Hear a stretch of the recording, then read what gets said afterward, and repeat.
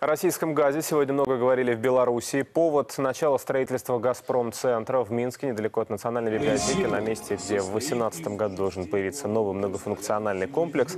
Сегодня заложили памятную капсулу. В церемонии участвовали президент Беларуси Александр Лукашенко и глава российского концерна Алексей Миллер.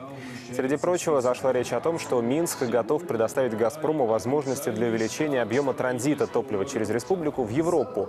Лукашенко отметил, цитата, «Вы должны быть абсолютно убеждены убеждены в том, что это не чужая вам территория.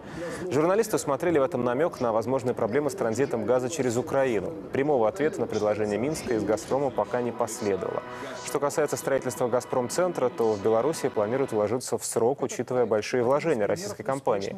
Алексей Миллер, в свою очередь, отметил, что «Газпром» увеличивает объем инвестиций. Это касается строительства и газопроводов в регионах, и газораспределительных станций. Кроме того, в компании принято решение об увеличении закупок оборудования в Беларуси. Rússia.